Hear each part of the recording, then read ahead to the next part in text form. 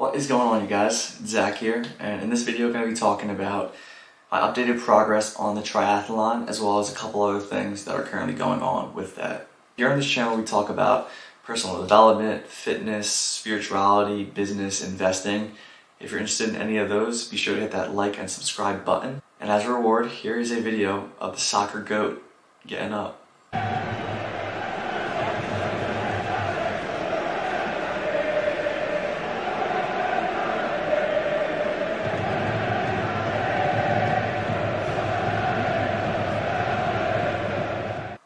Before kick it off, I know these videos are titled I Enjoy Torturing Myself. So here's one other thing I did a couple of days ago that really got me outside of my comfort zone. Roll it.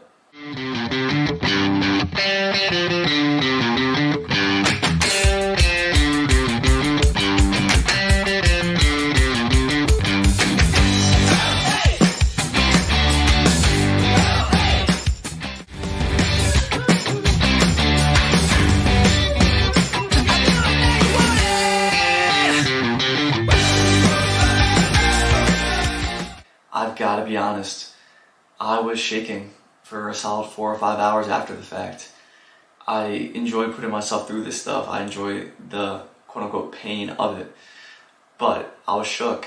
I uh, I was scared, 100%. I was a little disappointed in my natural reaction to it, but now that I've done it and I feel a little intimidated by it, I'm gonna do it again. But I want to do it in a different place like Hawaii or Dubai, something with a really cool scenery, so that when I'm falling, I at least have a, a pretty crazy view. Zach, welcome back to Earth. You made it. So currently with the triathlon, I am currently in week three of the training.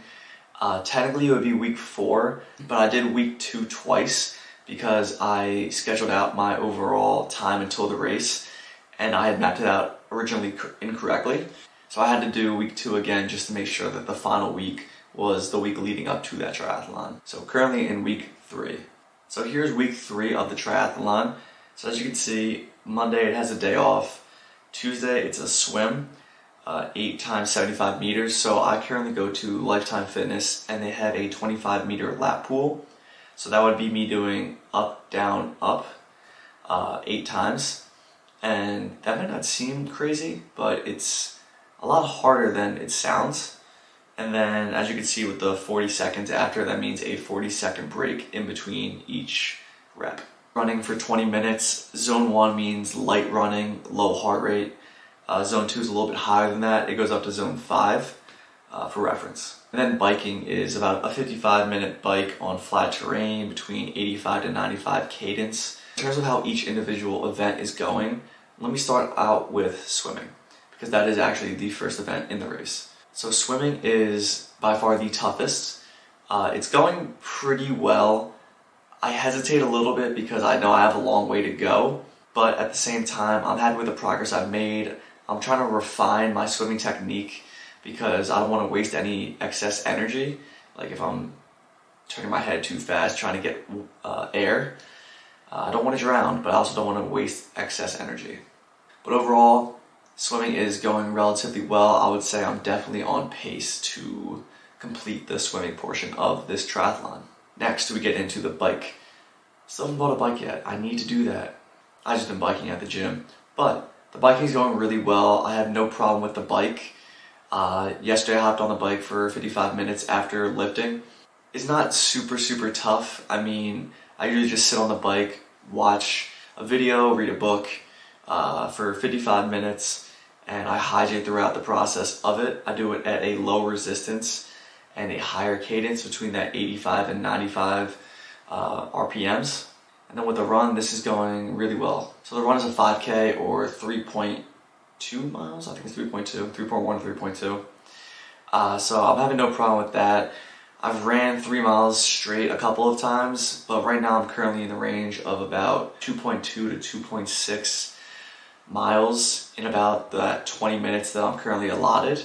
So it's going pretty well. I find I run a lot better on flat earth rather than a treadmill.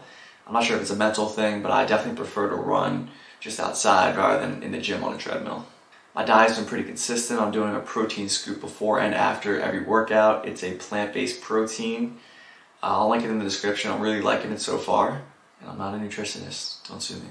And in terms of the metrics that I'm keeping track of, such as my resting heart rate and my body fat percentage, here are the videos for that. Looking at 10.7. Current resting heart rate is 50 beats per minute. I try to take those in the morning because apparently your body fat percentage is most accurate when you first wake up and you have not had anything to eat or drink. My resting heart rate does fluctuate a little bit. For example, when I'm meditating, like deep into meditation, it could be a lot lower than I guess my average. But I'm just giving you guys my average because I feel like it's a good benchmark to keep track of. And I know initially in the first episode I said this would be a four part series. I'm actually going to be breaking it up a little bit more, maybe like six or seven episodes. Um, I like keeping track of it on this video. Just look out for that. Probably six or seven episodes in total. I'm also doing something I like to call 66 hard. Consider that a placeholder for what the challenge is actually about. But here's a picture of the habits that are part of this challenge that I'm doing on a daily basis. Day one, completed everything. Day two, completed everything except for the 4.30 a.m. And this morning I did not complete the 4.30 a.m. either. I slept until 6 and I'm frustrated about that as you can see. But at the same time, it's not worth throwing away a whole day. I'm still being productive, still getting my stuff done. But I had that moment of hesitation when your alarm clock goes off and you're like, ah, five more minutes. And when you hit that pillow again, a lot of times it's not five more minutes. For me, it was an hour and a half. So in that moment, I just gotta turn my brain off, be disciplined, and do what I have to do, which is, in this case, get out of bed. Um, so it's not gonna happen again. So 66 hard is 66 days straight of me doing these daily habits. I'll keep you guys updated on that as well. But that is it for this episode. If you guys have any questions or comments or things that I should look out for, you know, heading into this triathlon preparation, let me know in the comments. If you got any value from this video, be sure to hit that like and subscribe button. I'll see you guys on the next one. Peace.